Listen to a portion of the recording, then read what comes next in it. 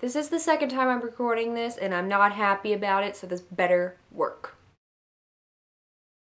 I know, me again. Where's Les cries the crowd? Heartbroken. Well, um, she's in New York City, gallivanting around, so yeah, you get me again.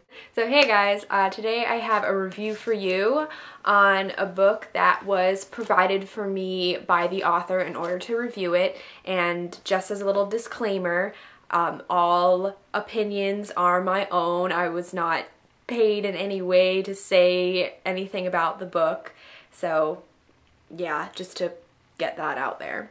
The book that I read is called No Hope for Gomez and it's by Graham Parke. It's a USA Book News Best Book Awards finalist, an International Book Awards finalist, and it also was a winner of the Forward Book of the Year award. So yeah, it's got a little bit of hype behind it. It's a short book. It's only 188 pages, but after reading Storm of Swords, let me tell you, this is quite a relief. It's a completely different story, and it took me no time to read it at all. Basically, this book is a little bit of mystery, a little bit of romance, and a whole lot of quirkiness. The basis of the storyline is that Gomez has entered himself into a drug trial because he needs a little bit of extra money. He runs an antique shop that his parents left him, but he's really not into selling antiques. He he has no idea what he's doing, so he isn't making enough money off of that. And when he's on this trial, the doctors ask him to keep a blog to kind of keep track of his daily thoughts, what happens to him, etc. So this um, book is actually a point of view from his blog entries that he writes. So they're very, sometimes they're pretty long and sometimes they're pretty short, but it's always from Gomez's point of view.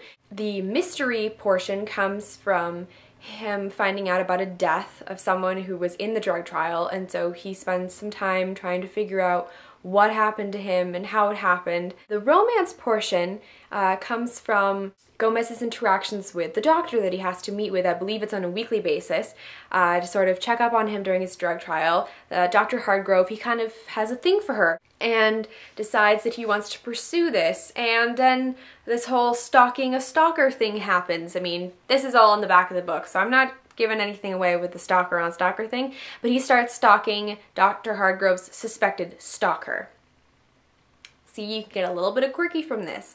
And the whole lot of quirky comes from Gomez's interactions with different characters and just how, how he reacts to things.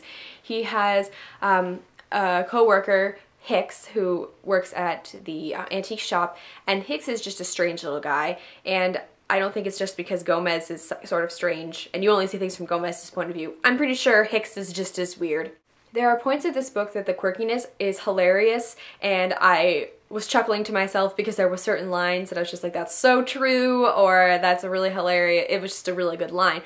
And then there are other parts where I mm, was sort of turned off by how quirky it was. I'm usually the sort of person who prefers something that's more logical, and there were certain things that Gomez did in this book that I was questioning, and I just didn't like how out of the box it seemed. There's also something that I was kind of thinking in the back of my head. I know Gomez is strange, but I was wondering if the drugs were making him stranger or not. It doesn't really get addressed in the story, but it was just sort of something that was hanging back there. Overall, I'm gonna give this book a three and a half out of five stars, mostly just because of the, the humor element, the quirkiness was a little too much for me at times, but it's still an entertaining and interesting read. Um, I recommend this to anybody who likes humorous books, is looking for a short, refreshing read, something that's different. Like me, if you've been stuck on a book that's over a thousand pages for a really long time, this would be a good thing to read because it's just different, you get it done, you feel good about yourself afterwards, and hopefully you'll enjoy the story. Now, there's one little extra secret thing that I want to add. If when you purchase the book, uh, online and you get a purchase email, you can CC um, the author, Graham Parke.